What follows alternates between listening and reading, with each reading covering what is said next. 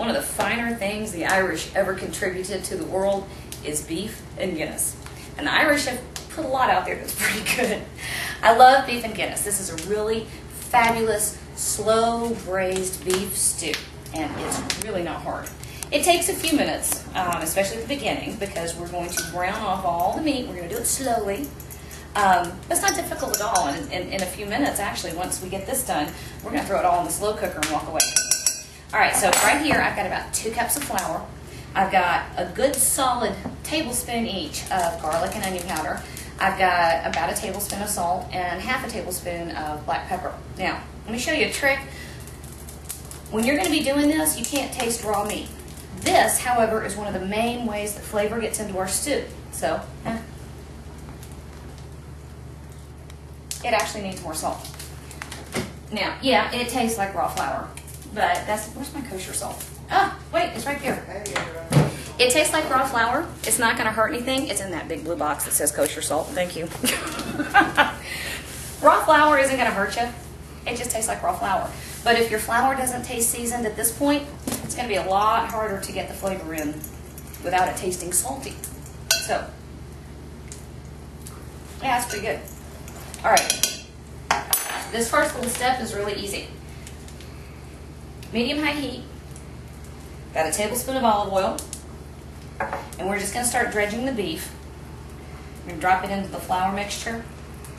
And one of the things that you want to remember when you're going to cook off or brown any kind of uh, meat, you want to make sure that it's got lots and lots of room in the pan. If you give everybody in the pan enough room to have its own little real estate, then it'll get brown and yummy and crispy.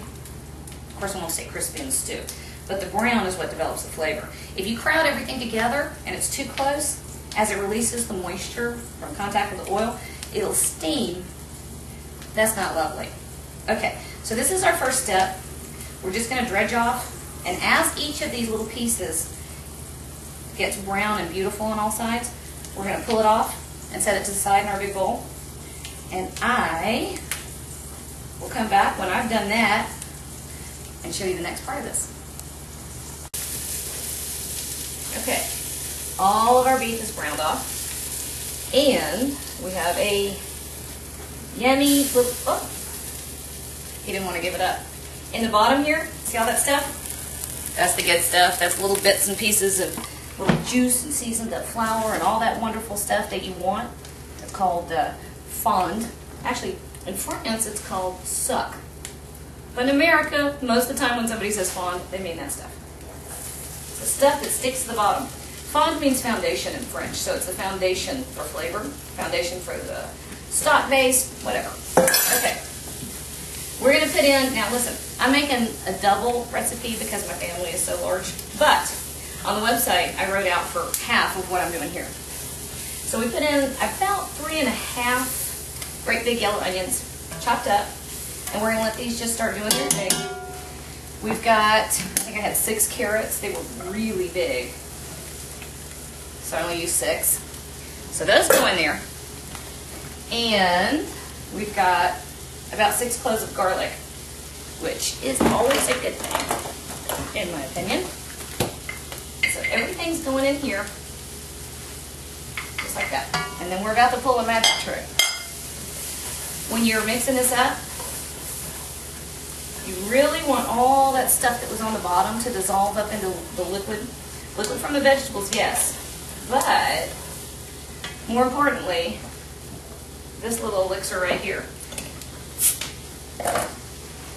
because this is an amazing flavor. Now, the recipe on the website, and I'll put a link to it in the bottom, calls for one bottle. I used two. And a bigger pot. but if you're making a smaller amount, you only use one. Now, you can feel all that stuff dissolving. Beer or stout or wine or um, any vinegar, all kinds of things like that. Citrus, they all serve the same purpose when you're braising. It's an acid, and they will help break down and dissolve flavors and compounds that are in things and make it all come together. It also helps to uh, tenderize the meat. Now, In this case, I'm going to put all the beef back in there. And you want all the juice and the drippings that came out. Just like when meat's resting, you want the juices in the right place. We'll save your juices. And, hey Brent, I talk about this in the article. Sometimes you need more liquid than it is in the beer, so we're going to add some chicken broth too. Honey, in the mason jar in the bottom of the cooler, hand me one of those things of chicken broth. I've got chicken broth. So, I don't know, one big or two small sprigs of thyme, a couple of bay leaves, and a little bit of rosemary. Pardon me. I wish I had fresh rosemary. It's actually better, but I don't have any, so I'm just using the dried stuff. I guess that was about a teaspoon. Rosemary can really dominate flavors. Thank you. See? So be careful with it. Want to add more, go ahead and add more. But if you add too much, it'll taste like a pine tree. All right. So look, here's my chicken jello. So this is going in the pot too. That's about perfect. There we go. Now, what we're going to do at this point, once I've got all of those things scraped up off the bottom and nicely dissolved, I'm going to actually stick this in a slow cooker. I'm going to put it on low and I'm going to let it go for, uh, I guess, about six hours. You can do up to, to eight or ten if you want to, especially if you're doing a great big batch. But at this point, I'm going to continue scraping, and once that's done, I'm going to taste, a little bit of salt and pepper. We already seasoned the flour, so you don't need too much. And then I'm going to let the slow cooker do its little magic thing. Okay? I'll be back.